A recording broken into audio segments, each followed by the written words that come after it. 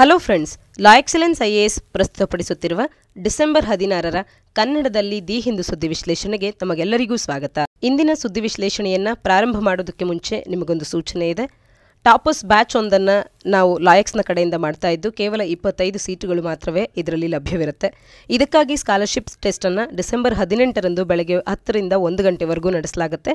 ಇದರಲ್ಲಿ both prelims mains ಮತ್ತು ಒಂದು ಎಸ್ಸೆ ಕ್ವೆಶನ್ ಕೂಡ ಇರುತ್ತೆ. ಇವುಗಳನ್ನು ನೀವು ಬೆಟರ್ ರೀತಿಯಲ್ಲಿ ಆನ್ಸರ್ ಮಾಡೋ ಮುಖಾಂತರ ಈ ಸ್ಕಾಲರ್ಶಿಪ್ಪನ್ನು ನೀವು ಪಡ್ಕೊಂಡಲ್ಲಿ ನಿಮಗೆ ಫ್ರೀ ಸ್ಟಡಿ ಹಾಲಿನ ಆಕ್ಸೆಸ್ ಇರುತ್ತೆ, ಹಾಗೆ ಡೈಲಿ ಪ್ರಾಕ್ಟೀಸ್ ಟೆಸ್ಟ್ಗಳಿರುತ್ತೆ ವೀಕ್ಲಿ ಫ್ರೀ ಪ್ರಿಲಿಮ್ಸ್ ಮತ್ತು ಮೈನ್ಸ್ ಟೆಸ್ಟ್ ಸೀರೀಸ್ ಇರುತ್ತೆ ಮೆಂಟರ್ಶಿಪ್ ಕೂಡ ಇರುತ್ತೆ, ಹೀಗೆ ಹಲವಾರು ಬೆನಿಫಿಟ್ಸ್ ಇರುತ್ತೆ. ತಪ್ಪದೇ ಈ ಸ್ಕಾಲರ್ಶಿಪ್ ಟೆಸ್ಟನ್ನು ಅಟೆಂಡ್ ಆಗಿ ಆಫ್ಲೈನ್ನಲ್ಲಿ ನಮ್ಮ ಇನ್ಸ್ಟಿಟ್ಯೂಟ್ನಲ್ಲೇ ನಡೆಯುತ್ತೆ ಡಿಸೆಂಬರ್ ಹದಿನೆಂಟರಂದು. ಇಂದಿನ ಮೊದಲ article Tamil Nadu stops action of stolen Nataraja idol in France ಅನ್ನುವಂಥದ್ದು. ಇತ್ತೀಚೆಗೆ ತಮಿಳುನಾಡು ಪೊಲೀಸರು ಸಕ್ಸಸ್ಫುಲ್ ಆಗಿ ಫ್ರಾನ್ಸ್ನಲ್ಲಿ ನಡಿಬೇಕಾಗಿದ್ದಂಥ ಈ ನಟರಾಜ ಐಡಲಿನ ಬ್ರಾನ್ಸ್ ಒಂದು ಐಡಲ್ ಏನಿದೆ, ಈ ಐಡಲಿನ ಆಕ್ಷನ್ ಅನ್ನ ಶೆಡ್ಯೂಲ್ ಏನಾಗಿತ್ತು, ಇದನ್ನು ಸಕ್ಸಸ್ಫುಲ್ ಆಗಿ ತಮಿಳುನಾಡು ಪೊಲೀಸರು ಸ್ಟಾಪ್ ಮಾಡಿರ್ತಕ್ಕಂಥದ್ದು. ಇದು ಒಂದು ರೀತಿಯ rare variety of bronze idol ಆಗಿದ್ದು, ಇದನ್ನು ಕಾಯತಾರ್ ಅಂತ ಹೇಳಿ ತೂತುಕುಡಿ ಜಿಲ್ಲೆಯ ಭಾಗದಿಂದ ಹಾಫ್ ಸೆಂಚುರಿ ಅಗೋ ಅಂದರೆ ಐವತ್ತು ವರ್ಷಗಳ ಹಿಂದೆ ಇದನ್ನು ಕಳುವು ಮಾಡಿರಬಹುದು ಅಂತ ಹೇಳಿ ಇಲ್ಲಿ ಅಭಿಪ್ರಾಯ ಪಡಲಾಗ್ತಾ ಇದೆ. ಹಾಗಾದರೆ ಈ ಒಂದು ಲಾರ್ಡ್ ನಟರಾಜನ ಬಗ್ಗೆ ಇದರ ಕುರಿತಂತೆ ನಮಗೆ ತಿಳಿದಿರ್ತಕ್ಕಂಥ ಮಾಹಿತಿನ ತಿಳ್ಕೊಳ್ಳೋದೇ ಆದರೆ ನಟರಾಜ ಅಥವಾ ಲಾರ್ಡ್ ಆಫ್ ದಿ ಡ್ಯಾನ್ಸ್ ಅಂತ ಹೇಳಿ ಏನು ಕರಿತೇವೆ. ಇದು ಹಿಂದೂ ದೇವರಾಗಿದ್ದು, ಹಿಂದೂ ದೇವ ಶಿವ ಆಗಿದ್ದು, ಕಾಸ್ಮಿಕ್ ಡ್ಯಾನ್ಸರ್ನ ರೂಪದಲ್ಲಿ ಶಿವನನ್ನು ಇಲ್ಲಿ ನಾವು ಕಾಣಬಹುದು ಇದನ್ನು ಮೆಟಲ್ ಅಥವಾ ಸ್ಟೋನ್ನ ರೂಪದಲ್ಲಿ ಸಾಕಷ್ಟು ಶೈವ ಶೈವಿಯ ಶೈವರ ದೇವಸ್ಥಾನಗಳಲ್ಲಿ ನಾವು ಮುಖ್ಯವಾಗಿ ಸೌತ್ ಇಂಡಿಯಾ, ದಕ್ಷಿಣ ಭಾರತದ ಹಲವಾರು ದೇವಾಲಯಗಳಲ್ಲಿ ನಾವು ಶಿವನ ಈ ಒಂದು ರೂಪವನ್ನು ಕಾಣ್ಬೋದಾಗತ್ತೆ. ಚೋಲಾ ಸ್ಕಲ್ಪ್ಚರಲ್ಲಿ ಇಂಪಾರ್ಟೆಂಟ್ ಪೀಸ್ ಆಗಿತ್ತು. ಈ ರೀತಿಯ ಬ್ರಾನ್ಸ್ ನಟರಾಜ ಅನ್ನುವಂಥದ್ದು ಇದು ನಮಗೆ ಗೊತ್ತಿರಲಿ ಚೋಲರ ಸ್ಕಲ್ಪ್ಚರ್ನಲ್ಲಿ ಅಂತ ಹೇಳಿ. ಸಾಮಾನ್ಯ ಅಧ್ಯಯನ ಪತ್ರಿಕೆ ಒಂದರ ಅಡಿಯಲ್ಲಿ different types of paintings sculpture ಆಗಿರ್ಬೋದು. ಇವು ಬಹಳ ಮುಖ್ಯ ಆಗುತ್ತೆ. ಡಿಫ್ರೆಂಟ್ ಆರ್ಟ್ ಫಾರ್ಮ್ಸ್ನ ಕುರಿತಂತೆ. ಇವು ಪ್ರಿಲಿಮ್ಸ್ಗೂ ಕೂಡ ಬಹುಮುಖ್ಯವಾದಂಥ ಮತ್ತು ಬಹು ಫೇವ್ರೇಟ್ ಆಗುತ್ತೆ ಯು ಪಿ ಎಸ್ ಸಿಗೂ ಪ್ರಶ್ನೆಗಳನ್ನು ಕೇಳೋದಕ್ಕೆ. ಡಿಫ್ರೆಂಟ್ ಟೈಪ್ಸ್ ಆಫ್ ಆರ್ಟ್ ಫಾರ್ಮ್ಸ್ನ ಕುರಿತಂತೆ ಮಾಹಿತಿ ಇರಬೇಕು. ಇಲ್ಲಿ ಈ ನಟರಾಜನ ಬ್ರಾನ್ಸ್ ಐಡಲ್ನ ಬಗ್ಗೆ ಮಾತನಾಡ್ತಿದ್ದೇವೆ. ಪ್ರಿಲಿಮ್ಸ್ ಮತ್ತು ಜಿ ಎಸ್ ಒನ್ ಅಡಿಯಲ್ಲಿ ಇದು ಇಂಪಾರ್ಟೆನ್ಸನ್ನು ಪಡ್ಕೊಳ್ಳುತ್ತೆ. ಇನ್ನು ಅಪ್ಪರ್ ರೈಟ್ ಹ್ಯಾಂಡ್ ಅನ್ನುವಂಥದ್ದು ಇಲ್ಲಿ ಡಮರುವನ್ನು ಅಪ್ಪರ್ ರೈಟ್ ಹ್ಯಾಂಡ್ ಹೊಂದಿರುತ್ತೆ. ಸಾಮಾನ್ಯವಾಗಿ ನಾವಿಲ್ಲಿ ಕಾಣ್ಬೋದು ಡಮರುವನ್ನು ಇದು ಅಪ್ಪರ್ ರೈಟ್ ಹ್ಯಾಂಡ್ ಅನ್ನುವಂಥದ್ದು ಹೊಂದಿರುತ್ತೆ. ಇದು ಏನು ತೋರಿಸುತ್ತೆ ಅಂತ ಅಂದರೆ ಕ್ರಿಯೇಷನ್ನಿನ ಸೌಂಡನ್ನು ಇದು ಸಿಗ್ನಿಫೈ ಮಾಡುತ್ತೆ. ಹಾಗೆಯೇ all creations great sound of damru ಅನ್ನು ಇದು ತೊಗೊಂಡು ಬರುವಂಥದ್ದು. ಹಾಗೆಯೇ ಅಪ್ಪರ್ ಲೆಫ್ಟ್ ಹ್ಯಾಂಡ್ ಅನ್ನುವಂಥದ್ದು ಎಟರ್ನಲ್ ಫೈರನ್ನು ಜ್ಯೋತಿಯನ್ನು ಇದು ಹೊಂದಿರುತ್ತೆ. ಇದರಿಂದಾಗಿ ಡಿಸ್ಟ್ರಕ್ಷನನ್ನು ಇದು ಗುರುತಿಸುತ್ತೆ. ಡಿಸ್ಟ್ರಕ್ಷನ್ ಅನ್ನುವಂಥದ್ದು ಯಾವುದೇ ಒಂದು ಕ್ರಿಯೇಷನ್ನಿಗೆ ಪ್ರೀ ಕರ್ಸರ್ ಮತ್ತು ಇನೆವಿಟಬಲ್ ಕೌಂಟರ್ ಪಾರ್ಟ್ ಅನ್ನುವಂಥದ್ದಕ್ಕೆ ಇದನ್ನು ಕೂಡ ಇದು ಸಿಂಬಲೈಸ್ ಮಾಡುತ್ತೆ.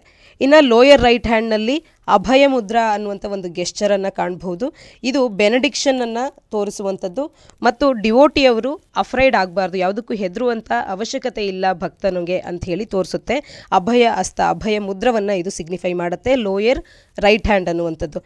ಇನ್ನು ಲೋಯರ್ ಲೆಫ್ಟ್ ಹ್ಯಾಂಡ್ ಅನ್ನುವಂಥದ್ದು ಅಪ್ರೈಸ್ಡ್ ಫೂಟ್ನ ಕಡೆಗೆ ಪಾಯಿಂಟ್ ಆಗಿರುತ್ತೆ. ಮತ್ತು ಪಾತ್ ಆಫ್ ಸಾಲ್ವೇಷನ್ನ ರೀತಿಯಲ್ಲಿ ಇದು ಕಾಣಿಸುವಂಥದ್ದು. ಈ ರೀತಿ ಇದರಲ್ಲಿ ನಾವು ಬೇರೆ ಬೇರೆ ಆಯಾಮಗಳನ್ನು ಈ ಶಿವ, ಶಿವನ ಕೈಗಳು ಹೊಂದಿರುವುದಂಥದನ್ನು ಕಾಣಬಹುದಾಗತ್ತೆ ಶಿವನನ್ನು ಎಲ್ಲ ಕಾಸ್ಮೋಸ್ನೊಳಗಾಗುವಂಥ ಎಲ್ಲ ಮೂಮೆಂಟಿನ ಒಂದು ಪ್ರತಿರೂಪವಾಗಿ ಇಲ್ಲಿ ತೋರಿಸಲಾಗುತ್ತೆ. ಮ್ಯಾಟೆಡ್ ಮತ್ತು ಫ್ಲೋಯಿಂಗ್ ಲಾಕ್ಸ್ ಆಫ್ ಶಿವ ಏನಿದೆ ಇದು? ಗಂಗಾ ನದಿಯ ಹರಿವಿಕೆಯನ್ನು ತೋರಿಸುವಂತೆ ಇರುತ್ತೆ. ಫ್ಲೋ ಆಫ್ ರಿವರ್ ಗ್ಯಾಂಗಸನ್ನು ತೋರಿಸುವಂತೆ ಶಿವನ ಒಂದು ರೂಪ ಇಲ್ಲಿ ಇರ್ತಕ್ಕಂಥದ್ದು. ಹಾಗೆಯೇ ಅರ್ಧನಾರೀಶ್ವರ, ಮೇಲ್ ಆ್ಯಂಡ್ ಫೀಮೇಲ್, ಅರ್ಧ ಮೇಲ್ ಮತ್ತು ಅರ್ಧ ಫೀಮೇಲ್ನ ರೀತಿಯಲ್ಲೂ ಕೂಡ ಇದು ರೆಪ್ರೆಸೆಂಟ್ ಮಾಡುತ್ತೆ. ಫ್ಯೂಷನ್ ಆಫ್ ಮೇಲ್ ಆ್ಯಂಡ್ ಫೀಮೇಲನ್ನು ರೆಪ್ರೆಸೆಂಟ್ ಮಾಡುವಂಥ ಒಂದು ರೂಪವನ್ನು ಕೂಡ ಕಾಣಬಹುದು ನಾವು ಈ ನಟರಾಜನ ರೂಪದಲ್ಲಿ. ಹಾಗೆಯೇ ಇಲ್ಲಿ ಸ್ನೇಕ್ ಅನ್ನುವಂಥದ್ದು ಶಿವನ ಒಂದು ಆಮ್ನ ಸುತ್ತ ಟ್ವಿಸ್ಟ್ ಆಗಿರುತ್ತೆ. ಇದು ಏನು ತೋರಿಸುತ್ತೆ ಅಂದರೆ ಕುಂಡಲಿನಿ ಪವರನ್ನು ಅದು ತೋರಿಸುತ್ತೆ. ಅಂದರೆ ಹ್ಯೂಮನ್ ಸ್ಪೈನ್ನಲ್ಲಿ ಡಾರ್ಮೆಂಟ್ ಸ್ಟೇಜ್ನಲ್ಲಿ ರಿಸ್ ಏನು ರಿಸೈಡ್ ಆಗಿರುತ್ತೆ ಈ ಒಂದು ಸ್ನೇಕ್ ಅನ್ನುವಂಥದ್ದು, ಕುಂಡಲಿನಿ ಪವರ್ ಅನ್ನುವಂಥದ್ದು ಅಂತ ಹೇಳಿ ಸಿಗ್ನಿಫೈ ಮಾಡುವಂಥದ್ದು. ಹಾಗೆಯೇ ನಟರಾಜನ ನಿಂಬಸ್ ಆಫ್ ಗ್ಲೋಯಿಂಗ್ ಲೈಟ್ಸ್ ಕೂಡ ಇಲ್ಲಿ ಸರೌಂಡ್ ಮಾಡಿರುತ್ತೆ ನಟರಾಜನನ್ನು. ವ್ಯಾಸ್ಟ್ ಅನ್ಎಂಡಿಂಗ್ ಸೈಕಲ್ಸ್ ಆಫ್ ಟೈಮನ್ನು ಇದು ಸಿಂಬಲೈಸ್ ಮಾಡುತ್ತೆ. ಈ ರೀತಿ ನಟರಾಜ ಐಡಲ್ಗೆ ತನ್ನದೇ ಆದಂಥ ಮಹತ್ವ ಇದೆ. ಇಲ್ಲಿ ಏನೇನು ಬರುತ್ತೆ, ಯಾವ ರೂಪದಲ್ಲಿ ಅಂತ ಹೇಳಿ ಇದನ್ನು ಸಾಮಾನ್ಯ ಅಧ್ಯಯನ ಪತ್ರಿಕೆ ಒಂದರ ಆರ್ಟ್ ಫಾರ್ಮ್ಸ್ನ ಅಡಿಯಲ್ಲಿ ನಾವು ತಿಳ್ಕೊಳ್ಬೇಕು. ಈ ರೀತಿಯ ಒಂದು ಐಡಲನ್ನು ಐವತ್ತು ವರ್ಷಗಳ ಹಿಂದೆ ಕಳಲು, ಕಳವು ಮಾಡ್, ಮಾಡಿರಬಹುದು ಅಂಥೇಳಿ ಈಗ ಅಭಿವೃದ್ಧಿ ಅಭಿಪ್ರಾಯ ಪಡ್ತಾ ಇದ್ದು, ಇಂಥ ಐಡಲಿನ ಒಂದು ಆ್ಯಕ್ಷನ್ ಅನ್ನುವಂಥದ್ದು ಫ್ರಾನ್ಸ್ನಲ್ಲಿ ನಡಿಬೇಕಾಗಿತ್ತು. ಅದನ್ನು ತಮಿಳುನಾಡು ಪೊಲೀಸರು ಈಗ ಸ್ಟಾಪ್ ಮಾಡಿರ್ತಕ್ಕಂಥದ್ದನ್ನು ಆರ್ಟಿಕಲ್ ನಮಗೆ ತಿಳಿಸ್ತಾ ಇದೆ. ಮುಂದಿನ ಆರ್ಟಿಕಲ್ ಕೇರಳ ಯೂನಿವರ್ಸಿಟಿಯ ಅಮೆಂಡ್ಮೆಂಟ್ ಲಾಸ್ಗಳಿಗೆ ಕುರಿತಂತೆ what are Kerala universities laws amendment bills ಅನ್ನುವಂಥದ್ದನ್ನು ಈ ಆರ್ಟಿಕಲ್ನಲ್ಲಿ ಚರ್ಚೆ ಮಾಡೋಣ. ಸಾಮಾನ್ಯ ಅಧ್ಯಯನ ಪತ್ರಿಕೆ ಎರಡರ ಅಡಿಯಲ್ಲಿ, ಪೊಲಿಟಿಯ ಅಡಿಯಲ್ಲಿ state legislature structure organisation functioning and conduct of business ಅನ್ನುವಂಥ ಪಟ್ಟಿಕ ಒಂದು ಸಿಲೆಬಸ್ನ ಅಡಿಯಲ್ಲಿ ಇದನ್ನು ನಾವು ಓದ್ಕೊಳ್ಬೋದಾಗತ್ತೆ. ಈ ಆರ್ಟಿಕಲ್ ಅನ್ನುವಂಥದ್ದು ಮುಖ್ಯವಾಗಿ ಚಾನ್ಸಲರ್ಸ್ ಮತ್ತು vice chancellors of state universities Kerala state ಯೂನಿವರ್ಸಿಟೀಸ್ಗಳನ್ನು appoint ಮಾಡ್ಕೊಳ್ಳೋದ್ರ ವಿಚಾರದಲ್ಲಿ ಏನು ಸಾಕಷ್ಟು ಕಾಂಟ್ರವರ್ಸಿಸ್ ಅನ್ನುವಂಥದ್ದು ಸರೌಂಡ್ ಆಗಿತ್ತು. ಇದರ ಬಗ್ಗೆ ನಮಗೆ ಸ್ಪಷ್ಟ ಮಾಹಿತಿಯನ್ನು ನೀಡುವಂಥ ಒಂದು ಆರ್ಟಿಕಲ್ ಆಗಿರುತ್ತೆ. ಇಲ್ಲಿ ಕಂಟೆಕ್ಸ್ಟ್ ಅಂದರೆ ಕೇರಳ ಗೌರ್ಮೆಂಟ್ ಅನ್ನುವಂಥದ್ದು ಸದ್ಯಕ್ಕೆ ಎರಡು ಯೂನಿವರ್ಸಿಟಿ ಲಾಸ್ ಅಮೆಂಡ್ಮೆಂಟ್ ಬಿಲ್ಸ್ಗಳನ್ನು ಪಾಸ್ ಮಾಡಿದೆ. ಯಾತಕ್ಕೆ ಅಂದರೆ ಹದಿನಾಲ್ಕು ಸ್ಟೇಟ್ ಯೂನಿವರ್ಸಿಟೀಸ್ಗಳಿಗೆ ಸಂಬಂಧಿಸಿದಂತೆ ಅವುಗಳನ್ನು ಗವರ್ನೆನ್ಸ್ ಮಾಡೋದಕ್ಕೆ ಲಾಸ್ಗಳನ್ನು ಅಮೆಂಡ್ ಮಾಡುವಂಥದ್ದಕ್ಕೆ ಸಂಬಂಧಪಟ್ಟಿದ್ದಂಥದ್ದು ಹಾಗೆಯೇ ಗವರ್ನರನ್ನು chancellor of the said universities ಅಂತ ಹೇಳಿ ಏನು ಗುರುತಿಸ್ತೇವೆ? ಸಾಮಾನ್ಯವಾಗಿ ರಾಜ್ಯದ ಅಡಿಯಲ್ಲಿ ಬರುವಂಥ ರಾಜ್ಯ ವಿಶ್ವವಿದ್ಯಾನಿಲಯಗಳಲ್ಲಿ ಅದಕ್ಕೆ ಚಾನ್ಸಲರ್ ಅಂತ ಹೇಳಿ ಅಲ್ಲಿನ ರಾಜ್ಯದ ಗವರ್ನರ್ ಅವರೇ ಇರ್ತಾರೆ. ಈ ರೀತಿ ಕೇರಳದಲ್ಲಿರ್ತಕ್ಕಂಥ ಸ್ಟೇಟ್ ಯೂನಿವರ್ಸಿಟೀಸ್ಗಳ ಚಾನ್ಸಲರ್ ಆಗಿ ಇರುವಂಥ ಗವರ್ನರ್ ಅವರನ್ನು ರಿಮೂವ್ ಮಾಡುವಂಥದ್ದು ಕೂಡ ಇದರ ಒಂದು ತಿದ್ದುಪಡಿಗಳಲ್ಲಿರ್ತಕ್ಕಂಥ ಒಂದು ಅಂಶ ಆಗುತ್ತೆ. ಹಾಗಾದರೆ ಒಂದಷ್ಟು ಬ್ಯಾಕ್ಗ್ರೌಂಡನ್ನು ತಿಳ್ಕೊಳ್ಳೋದೇ ಆದರೆ ಇಲ್ಲಿ ಗವರ್ನರ್ ವರ್ಸಸ್ ಗೌರ್ಮೆಂಟ್ ಕೆಲವೊಂದು ಇಲ್ಲಿ ವಾದಗಳು ನಡೆದಿರ್ತಕ್ಕಂಥದ್ದು. ಗವರ್ನರ್ ಅವರು ಇಲ್ಲಿ ಡಿನೈ ಮಾಡ್ತಾ ಇದ್ದಾರೆ. ಕಾಂಟ್ರವರ್ಷಿಯಲ್ ಆದಂಥ ಲೋಕಾಯುಕ್ತ ಬಿಲ್ಗೆ ತಿದ್ದುಪಡಿಯನ್ನು ತರೋದಕ್ಕೆ, ಲೋಕಾಯುಕ್ತ ಅಮೆಂಡ್ಮೆಂಟ್ ಬಿಲ್ಗೆ ಕಾಂಟ್ರವರ್ಷಿಯಲ್ ಅಸೆಂಟ್ ಮಾಡೋದಕ್ಕೆ ಇಲ್ಲಿ ಡಿನೈ ಮಾಡ್ತಾ ಇದ್ದಾರೆ. ಹಾಗೆಯೇ ಯೂನಿವರ್ಸಿಟಿ ಲಾಸ್ ಅಮೆಂಡ್ಮೆಂಟ್ ಬಿಲ್ ಕೂಡ ಸ್ಟೇಟ್ ಅಸೆಂಬ್ಲಿಯಿಂದ ಅರ್ಲಿಯರ್ ಏನು ಪಾಸ್ ಆಗಿತ್ತು. ಈ ಎರಡು ಬಿಲ್ಗಳಿಗೆ ಈಗ ಗವರ್ನರ್ ಅವರು ಅಸೆಂಟನ್ನು ನೀಡೋದಕ್ಕೆ ಡಿನಯಲನ್ನು ನೀಡಿರ್ತಕ್ಕಂಥದ್ದು. ಹಾಗೆ ಸುಪ್ರೀಂ ಕೋರ್ಟ್ ಆರ್ಡರ್ ಅನ್ನುವಂಥದ್ದು ಕೂಡ ಕೇರಳ ಟೆಕ್ನಾಲಜಿಕಲ್ ಯೂನಿವರ್ಸಿಟಿಯ ವಿ ಸಿ ಅವರ ಅಪಾಯಿಂಟ್ಮೆಂಟನ್ನು ಇನ್ವ್ಯಾಲಿಡೇಟ್ ಮಾಡಿದೆ ಅನ್ನುವಂಥದ್ದು ಕೂಡ ಇಲ್ಲಿ ತಿಳಿದಿರಬೇಕು. ಹೆನ್ಸ್ ಫೋರ್ ಗವರ್ನರ್ ಅವರು ಹನ್ನೊಂದು ಬೇರೆ ವಿಶ್ವವಿದ್ಯಾನಿಲಯಗಳ ವಿ ಸಿಸ್ಗಳ ರೆಸಿಗ್ನೇಷನನ್ನು ಕ್ಲೈಮ್ ಮಾಡ್ತಾ ಇದ್ದಾರೆ ಡಿಮ್ಯಾಂಡ್ ಮಾಡ್ತಾ ಇದ್ದಾರೆ. ಯಾಕೆ ಅಂತ ಅಂದರೆ ಒಬ್ಬ ಒಂದು ವಿಶ್ವವಿದ್ಯಾನಿಲಯ ಏನು ಕೇರಳ ಟೆಕ್ನಾಲಜಿಕಲ್ ಯೂನಿವರ್ಸಿಟಿಯ ವಿ ಸಿಯ ಅಪಾಯಿಂಟ್ಮೆಂಟ್ ಏನಾಗಿತ್ತು, ಇದು ಇನ್ವ್ಯಾಲಿಡೇಟ್ ಅಂತ ಹೇಳಿ ಸುಪ್ರೀಂ ಕೋರ್ಟ್ ತಿಳಿಸಿದೆ. ಇದೇ ಆಧಾರದ ಮೇಲೆ ಇನ್ನುಳಿದ ಹನ್ನೊಂದು ವಿಶ್ವವಿದ್ಯಾನಿಲಯಗಳ ವಿ ಸಿಸ್ಗಳನ್ನು ಕೂಡ ಈಗ ಆಯ್ಕೆ ಮಾಡಿರುವಂಥದ್ದು. ಹಾಗಾಗಿ ಇವರ ಅಪಾಯಿಂಟ್ಮೆಂಟ್ ಪ್ರೊಸೀಜರ್ ಕೂಡ ತಪ್ಪಾಗಿದೆ. ಇನ್ವ್ಯಾಲಿಡೇಟೆಡ್ ಪ್ರೊಸೀಜರನ್ನು ಫಾಲೋ ಮಾಡಿದ್ದಾರೆ ಅನ್ನುವಂಥ ಒಂದು ನಿಲುವಿನಿಂದ ಗವರ್ನರ್ ಅವರು ಅವರ ರಾಜೀನಾಮೆಯನ್ನು ಈ ಹನ್ನೊಂದು ವಿಶ್ವವಿದ್ಯಾನಿಲಯಗಳ ವಿ ಸಿಗಳಿಂದ ಕೇಳ್ತಾ ಇದ್ದಾರೆ. ಇದು ಇಲ್ಲಿರ್ತಕ್ಕಂಥ ಒಂದು ಕಂಟೆಕ್ಸ್ಟ್ ಆಗುತ್ತೆ. ಹಾಗಾದರೆ ಈ ಬಿಲ್ನಲ್ಲಿ ಬಿಲ್ನಲ್ಲಿರ್ತಕ್ಕಂಥ ಕೆಲವೊಂದು ಅಂಶಗಳನ್ನು ತಿಳ್ಕೊಳ್ಳೋದೇ ಆದರೆ ಈ ಬಿಲ್ ಅನ್ನುವಂಥದ್ದು ಎಮಿನೆಂಟ್ ಅಕಾಡೆಮಿಷಿಯನ್ಸ್ಗಳನ್ನು ಚಾನ್ಸಲರ್ ಆಫ್ ವೇರಿಯಸ್ ಯೂನಿವರ್ಸಿಟೀಸ್ಗಳಾಗಿ ಅಪಾಯಿಂಟ್ ಮಾಡೋದಕ್ಕೆ ಅಂತ ಹೇಳಿ ಇಲ್ಲಿ ಎಂಟ್ರೆಸ್ಟ್ ಮಾಡ್ತಾ ಇದೆ ಗೌರ್ಮೆಂಟನ್ನು ಸೊ ದಟ್ ಗವರ್ನರ್ ಅವರ ವಾಚ್ ಡಾಗ್ ರೋಲ್ ಏನಿದೆ ಯೂನಿವರ್ಸಿಟಿ ಅಡ್ಮಿನಿಸ್ಟ್ರೇಷನಲ್ಲಿ ಅದನ್ನು ಎಂಡ್ ಮಾಡ್ತಾ ಇದೆ. ಅಂದರೆ ಗವರ್ನರ್ ಅವರಿಗೆ ಇರುವಂಥ ಪವರ್ಸ್ ಆ್ಯಂಡ್ ರೋಲನ್ನು ಎಂಡ್ ಮಾಡುವಂಥ ಒಂದು ಕಾರ್ಯ ಇಲ್ಲಿ ಆಗ್ತಾ ಇದೆ. As a chancellor of university ಅವ್ರಿಗಿರ್ತಕ್ಕಂಥ ಪವರ್ಸ್ಗಳನ್ನು ಕಿತ್ಕೊಳ್ಳುವಂಥ ಕೆಲವೊಂದು ಪ್ರಾವಿಷನ್ಸ್ಗಳು ಇಲ್ಲಿದೆ. ಹಾಗೆಯೇ ಇಲ್ಲಿ ಅಪಾಯಿಂಟೆಡ್ ಚಾನ್ಸಲರ್ ಅವರಿಗೆ ಐದು ವರ್ಷಗಳವರೆಗೂ ಕೂಡ ಒಂದು ಟರ್ಮನ್ನು ಲಿಮಿಟ್ ಮಾಡುವಂಥ ಪ್ರಾವಿಷನ್ಸ್ಗಳನ್ನು ಕೂಡ ಇಲ್ಲಿ ಒದಗಿಸಲಾಗಿದೆ. ಹಾಗಾದರೆ ಯೂನಿವರ್ಸಿಟಿ ಲಾಸ್ಗಳನ್ನು ತಿದ್ದುಪಡಿ ಮಾಡಬೇಕಾದಂಥ ಒಂದು ಅವಶ್ಯಕತೆ ಏನಿತ್ತು ಅಂತ ಅಂದರೆ U G C guidelines partially mandatory ಆಗಿದೆ ಸ್ಟೇಟ್ ಯೂನಿವರ್ಸಿಟೀಸ್ಗಳಿಗೆ ಅರ್ಲಿಯರ್ ಇದು. ಈ ಗೈಡ್ಲೈನ್ಸ್ಗಳು ಲೀಗಲಿ ಬೈಂಡಿಂಗ್ ಆಗಿರುತ್ತೆ ಎಲ್ಲ ವಿಶ್ವವಿದ್ಯಾನಿಲಯಗಳಿಗೆ. ರೀಸೆಂಟ್ ಸುಪ್ರೀಂ ಕೋರ್ಟಿನ ರೂಲಿಂಗ್ಸ್ಗಳ ಪ್ರಕಾರ. ಒಂದು ಎಕ್ಸಿಕ್ಯೂಟಿವ್ ಆರ್ಡರ್ ಅನ್ನುವಂಥದ್ದನ್ನು ಕೇಂದ್ರದವರು ಇಶ್ಯೂ ಮಾಡಿದರು ಯು ಜಿ ಸಿ ಗೈಡ್ಲೈನ್ಸ್ ಅನ್ನುವಂಥ ರೂಪದಲ್ಲಿ. ಇದು ಅಸೆಂಬ್ಲಿಯ ಪವರನ್ನು ಕನ್ಕರೆಂಟ್ ಲಿಸ್ಟ್ನ ಅಡಿಯಲ್ಲಿ ಅಂಡರ್ಮೈನ್ ಮಾಡುತ್ತೆ ಈ ವಿಶ್ವವಿದ್ಯಾನಿಲಯಗಳ ವಿಚಾರದಲ್ಲಿ. ಎಕ್ಸಿಕ್ಯೂಟಿವ್ ಆರ್ಡರ್ ಏನು ಕೇಂದ್ರ ತಂದಿತ್ತು ಯು ಜಿ ಸಿ ಗೈಡ್ಲೈನ್ಸ್ ಅಂತ ಹೇಳಿ.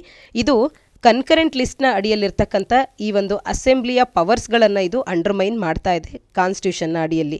ಇನ್ನದು Punchhi commission on state centre relations ಏನಿತ್ತು, ಇದು ಕೂಡ ರೆಕಮೆಂಡ್ ಮಾಡಿದೆ. ರಾಜ್ಯದ ವಿಶ್ವವಿದ್ಯಾಲಯಗಳಿಗೆ ಸಂಬಂಧಪಟ್ಟಂತೆ ಇರುವಂಥ ಪವರ್ಸ್ಗಳನ್ನು ಏನು ಈಗ ಗವರ್ನರ್ ಅವರಿಗೆ ನೀಡಿದ್ದಾರೆ. ಇದು ಸರಿಯಲ್ಲ, ಇದು ಬೇಡ ಅನ್ನುವಂತೆ ಆ ಒಂದು ಪವರ್ಸ್ಗಳನ್ನು ಗವರ್ನರ್ ಅವರಿಗೆ ಎಂಟ್ರೆಸ್ಟ್ ಮಾಡುವಂಥದ್ದು ಬೇಡ ಅಂತ ಸೆಂಟರ್ ಸ್ಟೇಟ್ ರಿಲೇಷನ್ಸ್ಗಳ ವಿಚಾರದಲ್ಲಿ ಆದಂಥ ಪುಂಚಿ ಕಮಿಷನ್ ಕೂಡ ರೆಕಮೆಂಡನ್ನು ಮಾಡಿತ್ತು. ಹಾಗೆಯೇ ಕಾನ್ಸ್ಟಿಟ್ಯೂಷನಲ್ಲಿ ಎನ್ವಿಸೇಜ್ ಆಗಿಲ್ಲದ ವಿಚಾರಗಳ ಕುರಿತಂತೆ ಎನ್ ಪವರ್ಸ್ಗಳನ್ನು ಇಂಟ್ರೆಸ್ಟ್ ಗವರ್ನರ್ ಅವರಿಗೆ ಮಾಡೋದು ಬೇಡ ಅನ್ನುವಂಥದ್ದು ಇದರಿಂದಾಗಿ ಕಾಂಟ್ರವರ್ಸೀಸ್ಗಳಿಗೆ ಎಡೆ ಮಾಡಿಕೊಡುತ್ತೆ ಅಂತ ಹೇಳಿ ಪುಂಚಿ ಕಮಿಷನ್ ಕೂಡ ರೆಕಮೆಂಡೇಷನನ್ನು ಮಾಡಿತ್ತು.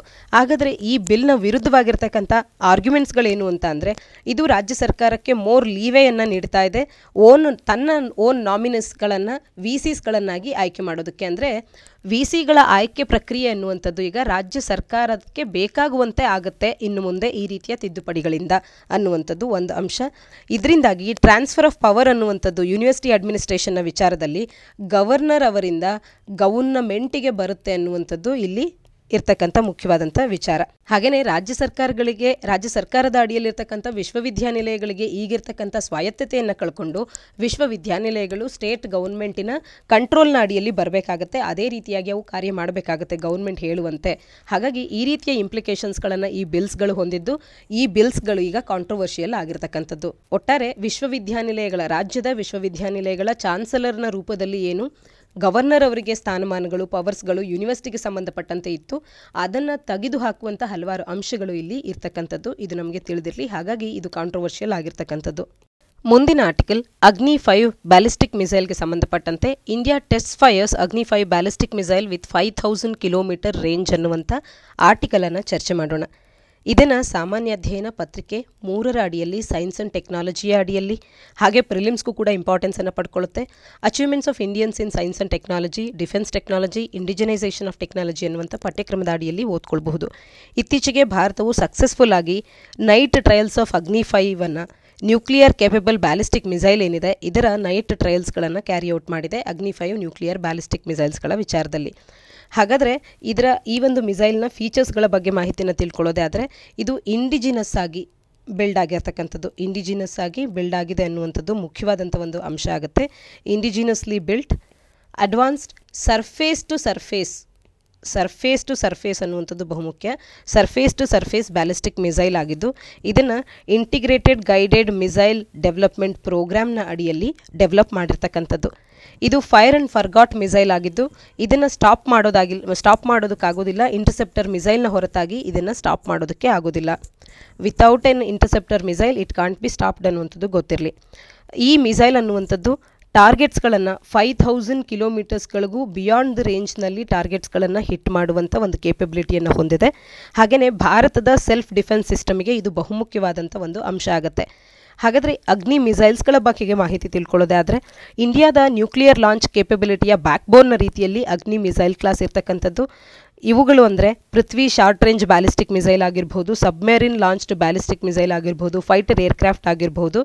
ಅಗ್ನಿ ಒನ್ನಿಂದ ಅಗ್ನಿ ಫೈವ್ ಮಿಸೈಲ್ಸ್ಗಳನ್ನು ಡಿ ಆರ್ ಡಿ ಒದವರು ಡಿಸೈನ್ ಮತ್ತು ಡೆವಲಪ್ ಮಾಡಿರ್ತಕ್ಕಂಥದ್ದು. ಇನ್ನು other range of Agni missiles ಅಂದರೆ ಅಗ್ನಿ ಒನ್ ಅನ್ನುವಂಥದ್ದು, ಅದರ range seven hundred to eight hundred kilometre ಇದೆ ಅಗ್ನಿ ಒನ್ನ ರೇಂಜ್ ಹಾಗೆ ಅಗ್ನಿ ಟೂನ ರೇಂಜ್ ಅನ್ನುವಂಥದ್ದು ಎರಡು ಸಾವಿರ ಕಿಲೋಮೀಟರ್ಗಳಿಗೂ ಕೂಡ ಹೆಚ್ಚಿನದಾಗಿರ್ತಕ್ಕಂಥದ್ದು. ಅಗ್ನಿ ತ್ರೀಯ ರೇಂಜ್ ಅನ್ನುವಂಥದ್ದು ಎರಡೂವರೆ ಸಾವಿರ ಕಿಲೋಮೀಟರ್ಗಿಂತಲೂ ಕೂಡ ಹೆಚ್ಚಿನ ರೇಂಜನ್ನು ಹೊಂದಿದೆ. ಇನ್ನು ಅಗ್ನಿ ಫೋರ್ ಅನ್ನುವಂಥದ್ದು ಮೂರುವರೆ ಸಾವಿರ ಕಿಲೋಮೀಟರ್ಗಿಂತಲೂ ಕೂಡ ಹೆಚ್ಚಿನ ರೇಂಜನ್ನು ಹೊಂದು, ಹೊಂದಿದ್ದು ರೋಡ್ ಮೊಬೈಲ್ ಲಾಂಚರ್ನಿಂದ ಇದನ್ನು ಫೈರ್ ಮಾಡ್ಬೋದಾಗುತ್ತೆ. ಅಗ್ನಿ ಫೈವ್ ಅನ್ನುವಂಥದ್ದು longest of the Agni series ಆಗಿದ್ದು, ಇದೊಂದು ಇಂಟರ್ ಕಾಂಟಿನೆಂಟಲ್ ಬ್ಯಾಲಿಸ್ಟಿಕ್ ಮಿಸೈಲ್ ಆಗಿದ್ದು ಓವರ್ ಫೈವ್ ಥೌಸಂಡ್ ಕಿಲೋಮೀಟರ್ಸ್ಗಳ ಒಂದು ಡಿಸ್ಟೆನ್ಸನ್ನು ರೇಂಜನ್ನು ಇದು ಕವರ್ ಮಾಡ್ಕೊಳ್ಳುತ್ತೆ ಹಾಗಾದರೆ ಆರ್ಟಿಕಲ್ನ ಹಿನ್ನೆಲೆಯಲ್ಲಿ ಈ ಒಂದು ಯೋಜನೆಯ ಬಗ್ಗೆ ಇಂಟಿಗ್ರೇಟೆಡ್ ಗೈಡೆಡ್ ಮಿಸೈಲ್ ಡೆವಲಪ್ಮೆಂಟ್ ಪ್ರೋಗ್ರಾಮ್ನ ಬಗ್ಗೆ ಮಾಹಿತಿಯನ್ನು ತಿಳ್ಕೊಳ್ಳೋದೇ ಆದ ಇದು doctor A P J Abdul Kalam ಅವರ ಬ್ರೈನ್ ಚೈಲ್ಡ್ ಅಂತ ಹೇಳಿ ಇಂಪಾರ್ಟೆನ್ಸನ್ನು ಪಡ್ಕೊಂಡಂಥದ್ದು ಇದರ ಮುಖ್ಯ ಉದ್ದೇಶ ಏನು ಅಂತ ಅಂದರೆ ಭಾರತ ಸೆಲ್ಫ್ ಸಫಿಷಿಯನ್ಸಿಯನ್ನು ಅಟೈನ್ ಮಾಡುವಂಥದ್ದು ಮಿಸೈಲ್ ಟೆಕ್ನಾಲಜಿಯ ವಿಚಾರದಲ್ಲಿ. ಮಿಸೈಲ್ ಟೆಕ್ನಾಲಜಿಯಲ್ಲಿ ಸೆಲ್ಫ್ ಸಫಿಷಿಯನ್ಸಿಯನ್ನು ಭಾರತ ಅಟೈನ್ ಮಾಡುವಂಥದ್ದು ಇದನ್ನು ಗಮನದಲ್ಲಿಟ್ಟುಕೊಂಡು ವೇರಿಯಸ್ ಟೈಪ್ಸ್ ಆಫ್ ಮಿಸೈಲ್ಸ್ಗಳನ್ನು ಡಿಫೆನ್ಸ್ ಫೋರ್ಸಸ್ಗಳು ಏನು ಬೇಕಾಗುತ್ತೆ ಅವರ ರಿಕ್ವೈರ್ಮೆಂಟ್ಸ್ಗೆ ತಕ್ಕಂತೆ ಈ ಒಂದು ಪ್ರೋಗ್ರಾಮ್ ಕಾರ್ಯ ಮಾಡ್ತಾ ಇದೆ.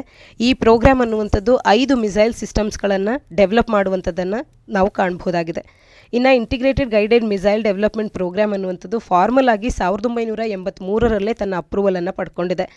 ಇದು ಕಂಟ್ರಿಯ ಸೈಂಟಿಫಿಕ್ ಕಮ್ಯುನಿಟಿಯನ್ನು ಇಟ್ ಹ್ಯಾಸ್ ಬ್ರಾಟ್ ಟುಗೆದರ್ ಹಾಗೆ academic institution research and development ಲ್ಯಾಬೊರೇಟ್ರೀಸ್ಗಳಾಗಿರ್ಬೋದು industries ಆಗಿರ್ಬೋದು, ಮತ್ತು ಮೂರು ಡಿಫೆನ್ಸ್ ಸರ್ವೀಸಸ್ಗಳನ್ನು ಇವೆಲ್ಲವನ್ನು ಕೂಡ ಒಂದು ಸ್ಟ್ರಾಟಜಿಕ್ ಆದಂಥ ಒಂದು ಶೇಪನ್ನು ನೀಡೋದಕ್ಕೆ ಇಂಡಿಜಿನಸ್ ಮಿಸೈಲ್ ಸಿಸ್ಟಮ್ಸ್ಗಳನ್ನು ತರೋದಕ್ಕೆ ಇವೆಲ್ಲವನ್ನು ಕೂಡ ಈ ಸ್ಕೀಮ್ ಅನ್ನುವಂಥದ್ದು ಒಟ್ಟಾರೆಯಾಗಿ ಒಂದು ಕಡೆ ಸೇರಿಸುವಂಥ ಕಾರ್ಯವನ್ನು ಮಾಡಿದೆ.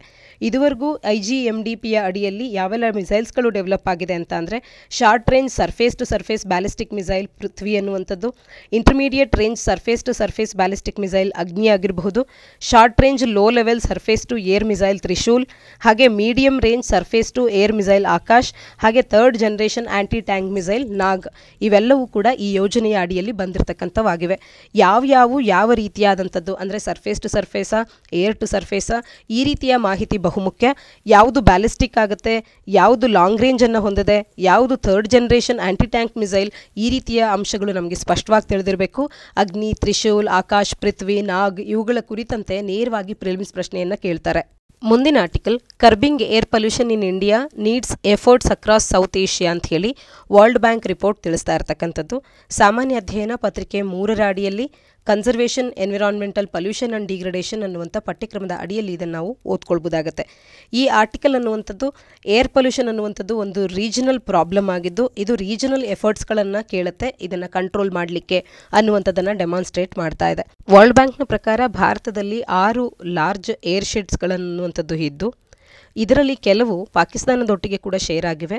ಬಿಟ್ವೀನ್ ವಿಚ್ ಏರ್ ಪೊಲ್ಯೂಟೆಂಟ್ಸ್ಗಳು ಮೂವ್ ಆಗ್ತಾ ಇರ್ತಕ್ಕಂಥದ್ದು. ಇದರ ಬ್ಯಾಕ್ಗ್ರೌಂಡನ್ನು ತಿಳ್ಕೊಳ್ಳೋದಾದರೆ persistently hazardous levels of air pollution ಅನ್ನುವಂಥದ್ದು. ಪಬ್ಲಿಕ್ ಹೆಲ್ತ್ ಕ್ರೈಸಿಸನ್ನು ಸೌತ್ ಏಷ್ಯಾದಲ್ಲಿ ಉಂಟು ಮಾಡಿದ್ದು. ಇದರಿಂದಾಗಿ ಅರ್ಜೆಂಟ್ ಆ್ಯಕ್ಷನ್ಸ್ಗಳನ್ನು ತಗೊಳ್ಬೇಕಾದಂಥ ಒಂದು ಅವಶ್ಯಕತೆ ಈಗ ಡಿಮ್ಯಾಂಡ್ ಇರತಕ್ಕಂಥದ್ದು. Modelling ಅಪ್ರೋಚನ್ನು over South Asia as a whole ಆಗಿ ನಾವು ಬಳಸೋದ್ರ ಬದಲಾಗಿ ಡಬ್ಲ್ಯೂ ಬ್ಯಾಂಕ್ ವರ್ಲ್ಡ್ ಬ್ಯಾಂಕಿನ ರಿಪೋರ್ಟ್ ತಿಳಿಸೋ ಪ್ರಕಾರ ಮಲ್ಟಿಪಲ್ ಸಿನಾರಿಯೋಸ್ ಮತ್ತು ಕಾಸ್ಟ್ ಅನ್ನುವಂಥದ್ದು ಇನ್ವಾಲ್ವ್ ಆಗಿದೆ. ರೀಜನಿನ ಎಕ್ಸ್ಪೋಜರ್ ಅನ್ನುವಂಥದ್ದು ಪರ್ಟಿಕ್ಯುಲೇಟ್ ಮ್ಯಾಟರಿಗೆ ಇದನ್ನು ನಾವು ರೆಡ್ಯೂಸ್ ಮಾಡಬೇಕು ಅಂತಂದರೆ ಇಲ್ಲಿ ಸಾಕಷ್ಟು ಅಂಶಗಳಿದೆ.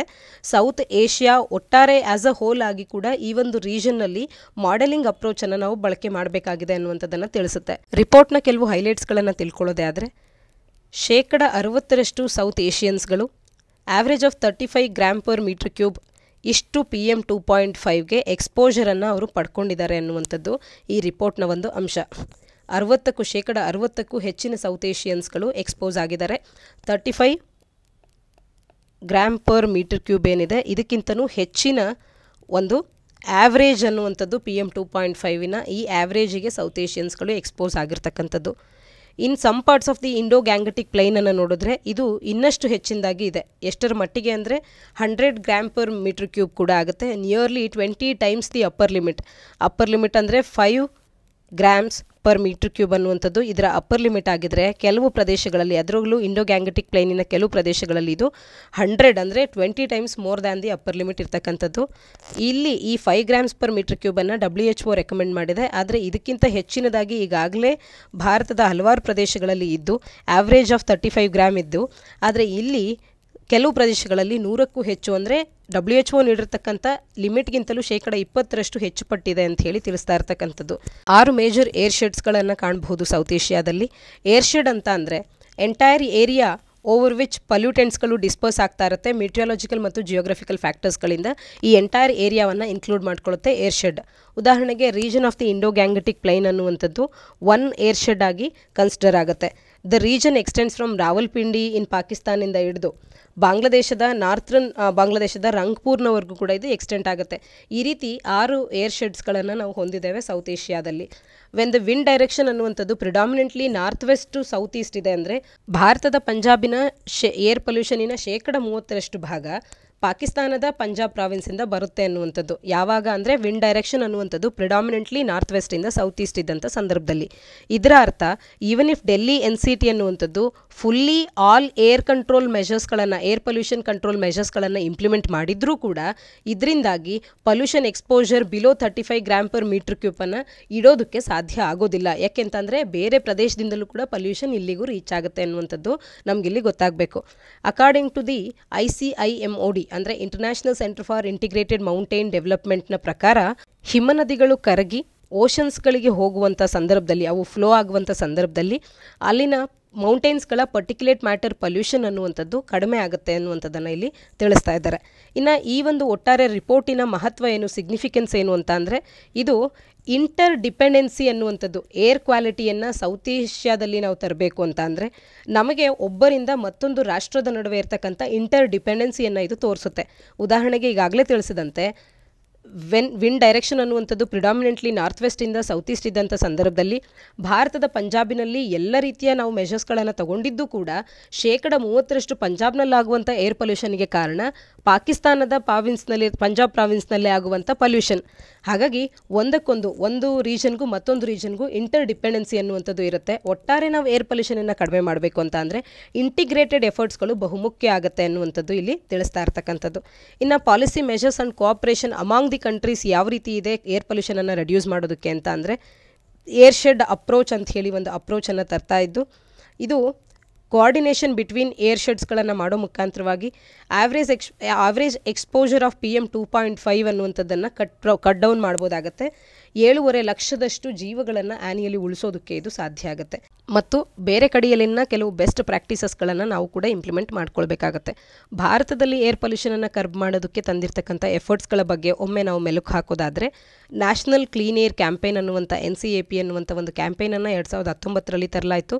ಶೇಕಡ ನಲವತ್ತರಷ್ಟು ಎರಡು ಸಾವಿರದ ಹದಿನೇಳರ ಲೆವೆಲ್ನಲ್ಲಿದ್ದಂಥ ಏರ್ ಪೊಲ್ಯೂಷನನ್ನು ಎರಡು ಸಾವಿರದ ಇಪ್ಪತ್ತೈದು, ಇಪ್ಪತ್ತಾರರಷ್ಟೊತ್ತಿಗೆ, ಹದಿನೇಳರ ಲೆವೆಲ್ಗಿಂತ ಶೇಕಡ ನಲವತ್ತರಷ್ಟು ಕಡಿಮೆ ಮಾಡುವಂಥದ್ದು ಇದರ ಮುಖ್ಯ. ಉದ್ದೇಶ ಆಗಿತ್ತು. ಗೌರ್ಮೆಂಟ್ ಆಫ್ ಇಂಡಿಯಾ ಅನ್ನುವಂಥದ್ದು ಒನ್ ಪಾಯಿಂಟ್ ಸೆವೆನ್ ಬಿಲಿಯನ್ ಡಾಲರ್ಸ್ಗಳಷ್ಟನ್ನು ಏರ್ ಪೊಲ್ಯೂಷನನ್ನು ಮುಂದಿನ ಐದು ವರ್ಷಗಳ ಒಳಗಾಗಿ ಫೈಟ್ ಮಾಡಲಿಕ್ಕೆ ಅಂತ ಹೇಳಿ ಆ ಅಮೌಂಟನ್ನು ಮೀಸಲಿರಿಸಿದೆ. ಫಿಫ್ಟೀನ್ತ್ ಫಿನಾನ್ಸ್ ಕಮಿಷನಿನ ರೆಕಮೆಂಡೇಷನ್ನ ಪ್ರದ ಪ್ರಕಾರ. ಪಾರ್ಲಿಮೆಂಟ್ ಕೂಡ ಕಮಿಷನ್ ಆಫ್ ಏರ್ ಕ್ವಾಲಿಟಿ ಮ್ಯಾನೇಜ್ಮೆಂಟನ್ನು ಎಸ್ಟಾಬ್ಲಿಷ್ ಮಾಡೋದಕ್ಕೆ ಅಪ್ರೂವಲನ್ನು ನೀಡಿದೆ ಎನ್ ಸಿ ಆರ್ ರೀಜನಲ್ಲಿ ಮತ್ತು ಅಡ್ಜಾಯ್ನಿಂಗ್ ಏರಿಯಾಸ್ಗೆ ಸಂಬಂಧಪಟ್ಟಂತೆ. ಕ್ಲೀನ್ ಏರ್ ಆ್ಯಕ್ಷನ್ ಪ್ಲ್ಯಾನನ್ನು ಕೂಡ ಅಕ್ರಾಸ್ ದಿ ಸ್ಟೇಟ್ಸ್ ಇಂಪ್ಲಿಮೆಂಟ್ ಮಾಡ್ತಾ ಇದೆ ವರ್ಲ್ಡ್ ಬ್ಯಾಂಕಿನ ಗೈಡ್ಲೈನ್ಸ್ಗಳ ಪ್ರಕಾರ. ಮುಂದಿನ article discussion to include Hatti community to S T list begins ಅನ್ನುವಂಥದ್ದು. ಗಾಂಡ್ ಟ್ರೈಬ್ ಮತ್ತು ಹಟ್ಟಿ ಕಮ್ಯುನಿಟಿಯನ್ನು ಎಸ್ ಟಿ ಲಿಸ್ಟ್ನ ಅಡಿಯಲ್ಲಿ ತರಬೇಕು ಅನ್ನುವಂಥದ್ದು ಹಲವಾರು ದಿನಗಳಿಂದ ನಡೀತಾ ಇರ್ತಕ್ಕಂಥ ಒಂದು ವಿಚಾರ. ಇದರ ಕುರಿತಂತೆ ನಾವು ಗಾಂಡ್ ಟ್ರೈಬ್ ಮತ್ತು ಹಟ್ಟಿ ಕಮ್ಯುನಿಟಿಯ ಬಗ್ಗೆ ಮಾಹಿತಿಯನ್ನು ತಿಳ್ಕೊಳ್ತಾ ಹೋಗೋಣ. ಇಲ್ಲಿ ಒಂದು ಮೋಷನನ್ನು ಇನಿಷಿಯೇಟ್ ಮಾಡಲಾಗಿದೆ ಲೋಕಸಭೆಯಲ್ಲಿ.